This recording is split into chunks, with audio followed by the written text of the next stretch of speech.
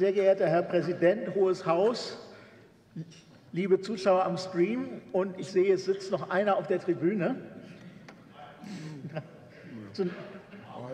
Zunächst einmal hielt ich diesen CDU-Antrag eigentlich für überflüssig, Beschäftigungstherapie für Abgeordnete.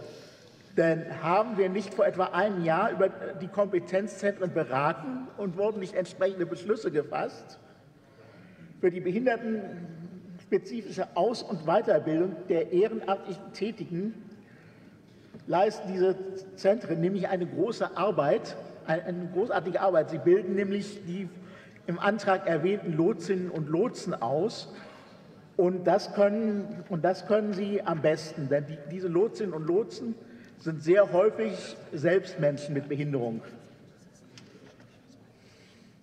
Aber die Forderung nach Ausbau der Erwachsenenbildung, auch für Menschen mit Behinderung, steht ja auch schon im Aktionsplan der Landesregierung. Und im Ausschuss kann natürlich auch geprüft werden, ob die Landesregierung nicht ein wenig nicht zu mehr hätte tun können, um eben diesen Aktionsplan auch umzusetzen. Und, und ja doch, leider nur in der Begründung gibt es etwas Gutes.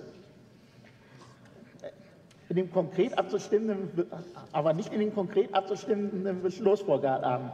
Die Art und Weise, wie viele Sozialämter mit Aufwendungskosten, nicht nur von Schwerbehinderten, mit Aufwendungskosten für ehrenamtliches Engagement allgemein umgehen. Es, es, es wurde ja schon ge gesagt, so, solche Kosten sind, sind nicht erstattbar und sollen daher nicht angerechnet werden. Das geschieht aber oft. Und es ist sehr oft und es ist so, die CDU blockiert Klarstellungen, die man auf Bundesebene hätte vornehmen können. Da gab es nämlich mehrfach schon Vorschläge. Gerade Ehrenamtler mit Behinderungen haben hier oft auch mehr Bedarf, der zum Beispiel im Rahmen der Eingliederungshilfe erstattet werden könnte. Aber auch hier weigern sich die Kommunen. Die CDU-Forderung, einen Landesfonds für solche Kosten aufzulegen, heißt im Klartext, das Land soll in letzter Konsequenz die finanziellen Verpflichtungen anderer übernehmen. Und es ist eben im Sozialgesetzbuch gar, gar nicht vorgesehen, die Kosten hierüber abzudecken.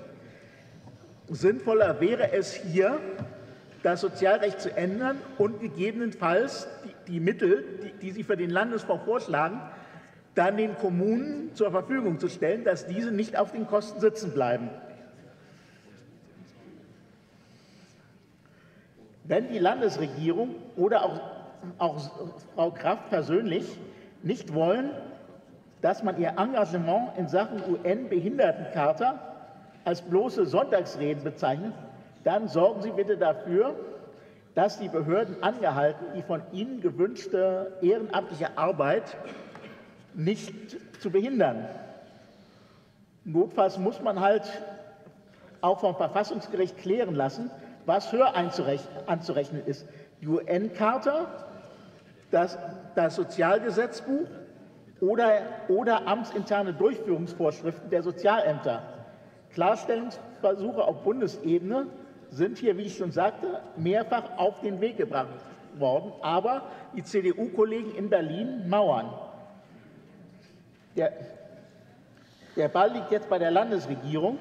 Bitte sorgen Sie dafür, dass ehrenamtliche Tätigkeit, speziell auch die Peer-to-Peer-Beratung und das Lotsentum nicht torpediert werden. Vielen Dank.